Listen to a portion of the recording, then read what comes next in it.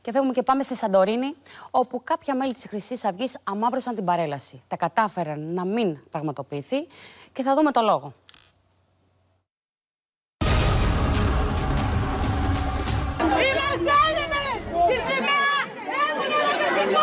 Εικόνες ντροπή σημειώθηκαν χθες στο χωριό Εμποριό της Σαντορίνης, με τα μέλη της Χρυσής Αυγής να σταματούν τη μαθητική παρέλαση επειδή η σημεοφόρος ήταν αλβανικής καταγωγής.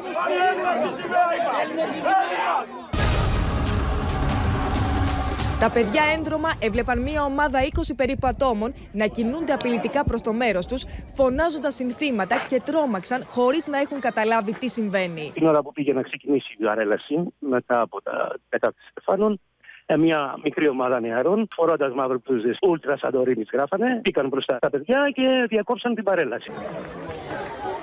Κάποιοι γονείς πιο ψύχρεμοι προσπάθησαν να ηρεμήσουν τα πνεύματα, ζητώντας από τα μέλη της Χρυσής Αυγής να αποχωρήσουν, προκειμένου να συνεχιστεί η παρέλαση. Το κακό όμως είχε ήδη γίνει, καθώς πολλοί γονείς μαθητών, νηπιαγωγείων και δημοτικών σχολείων, φοβούμενοι ενδεχόμενα επεισόδια, απέσυραν τα παιδιά τους για να τα προστατεύσουν. Κάποιοι οι καθηγητές και κάποιοι άλλοι περισσότεροι πολίτες μπήκαν ε, στη μέση, ηρεμήσαν λίγο τα πράγματα, αλλά αυτό που έγινε ήταν να διακοπεί η παρέλαση τελείως δεν θέλανε απλά να κρατάει αρβανικής καταγωγής τη σημαία. Είχαν γίνει διαβουλεύσεις μεταξύ του Συλλόγου Γονέων και των καθηγητών. Τελικά αποφασίσανε ότι να κρατήσει τη σημαία το παιδί.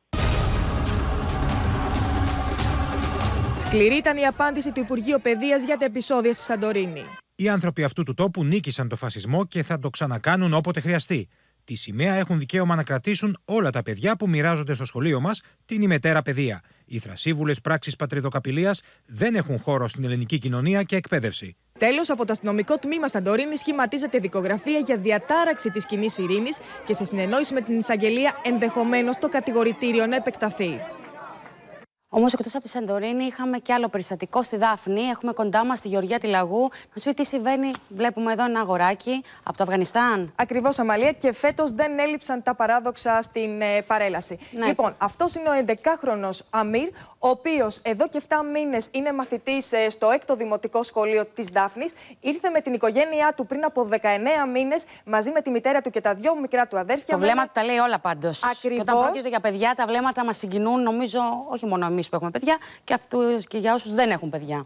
Ο μικρός Αμύρ, λοιπόν, ε, Αμαλία, για να συνεχίσω, όπως είπες και εσύ, είναι, το βλέμμα του τα λέει όλα, είναι στενοχωρημένος. Είναι το παιδάκι που κληρώθηκε για να είναι σημεοφόρος ε, στην τάξη του, όμως δεν του το επέτρεψαν. Ποιος δεν το επέτρεψε; Τι ακριβώς έχει συμβεί; Πήραν την ε, μητέρα του τηλέφωνο από την υπηρεσία, δηλαδή από την ύπατη αρμοστία και την ενημέρωσαν ότι αν είχε κάποιο πρόβλημα να παρευρεθεί ο 11χρονος Αμύρ στην ε, εκκλησία α, όπου θα ήταν σημεοφόρος. Η ίδια είπε ότι δεν έχει κανένα πρόβλημα, ότι η ίδια σέβεται α, τον ε, χριστιανισμό στην συνέχεια όμως την ενημέρωσαν ότι δεν θα είναι σημεοφόρος ο 11χρονο Αμύρ και μετά έγινε κάποια κλήρωση. Ο διευθυντής όμως του σχολείου επικαλέστηκε ότι ο 11χρονο Αμύρ είχε πρόβλημα να μπει με τη σημαία και να μπει στην ε, εκκλησία. Κάτι που το μικρό, το ίδιο το παιδάκι, το διαψεύδει. Επίσης, ε, να σας πω ότι η μητέρα του, α, η Αριζού, είπε ότι α, θα ήταν μεγάλη τους τιμή να παρελάβει ο μικρός Αμύρ να πάρει μέρος στην παρέλαση, διότι στη χώρα τους, στο Αφγανιστάν, δεν έχουν μόνο στρατιωτικές παρελάσεις, τις οποίες δεν τους επιτρέπεται να παρευρεθούν. Το Υπουργείο Παιδείας όμως εξέδωσε ακριβώς ανακοίνωση. Α, όπου θα ερευνήσει το θέμα για τον μικρό Αμύρ. Ευχαριστώ πολύ, Γεωργία. Και πάμε να συνομιλήσουμε με τον Γενικό Γραμματέα του Υπουργείου Παιδείας, τον κύριο Γιώργο Αγγελόπουλο, για ακριβώς αυτά τα δύο περιστατικά. Καλησπέρα σας, κύριε Αγγελόπουλε. Καλησπέρα σας.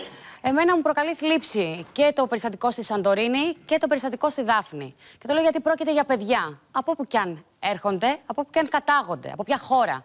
Ε, νομίζω ότι ε, φταίμε κι εμείς οι γονείς όταν δεν ε, μπορούμε να συνειδητοποιήσουμε ότι αυτά τα παιδιά ζουν μέσα στην ελληνική κοινωνία. Κοιτάξτε να δείτε. Ε, καταρχήν να ξεκινήσουμε με το γεγονός ότι σε χιλιάδες σχολεία στη χώρα εορτάστηκε 28 Οκτωβρίου με τρόπο που τιμά αυτή τη χώρα και τους ανθρώπους, τους παππούδες μας, τους παππούδες μας που έδωσαν τη ζωή τους ε, στο αλβανικό μέτωπο και βέβαια και τα επόμενα χρόνια της ναζιστικής κατοχής. Αυτό είναι ένα κατόρθωμα, δηλαδή ότι σε όλη τη χώρα πήγαν όλα τα ε, σχολεία με συνταγμένο τρόπο και τίμησαν αυτή την ημέρα ε, είναι κάτι που πρέπει να το κρατήσουμε. Βεβαίως, αλλά πάμε στα δύο περιστατικά, κύριε Αγγελόπουλε. Τα δύο περιστατικά είναι δύο μεμονωμένα περιστατικά.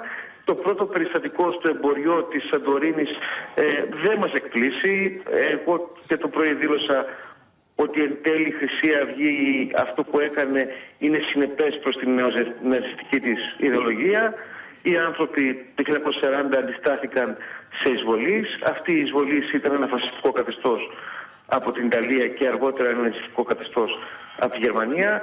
Άρα δεν μας εκπλήσει γιατί αντιδρούν τα μέλη της Χρυσής Αυγής σε αυτή την ε, επέτειο. Από εκεί και πέρα η αστυνομία έπρεξε τα δέοντα όπως γνωρίζετε.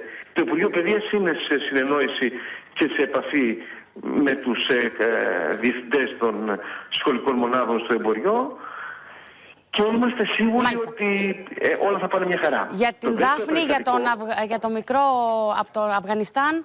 Κοιτάξτε, το δεύτερο περιστατικό είναι ένα περιστατικό το οποίο είναι σίγουρα πιο πολύπλοκο. Άκουσα το ρεπορτάζ που ε, εσείς ε, πριν από λίγο μεταδώσατε. Εμείς ως Υπουργείο Παιδείας πρέπει να ακολουθήσουμε τις θεσμικά πρέπουσες διαδικασίες. Που σημαίνει τι; Σημαίνει ένα, μια υπηρεσιακή ε, πορεία για να δούμε τελικά για ποιο ακριβώς λόγο συνέβη. ένα παιδί που κληρώθηκε δεν ε, τελικά έφερε το εθνικό μας σύμβολο. Δεν υλοποιήθηκε αυτή η κλήρωση. Α, Επιφυλασσόμαστε λοιπόν να δούμε μέσα στην εβδομάδα αυτό το οποίο θα δούμε αυτή την υπηρεσική διαδικασία και μετά θα το προσθέσουμε. Σας ευχαριστώ πολύ. Σας ευχαριστώ. Καλό βράδυ. Και πάμε τώρα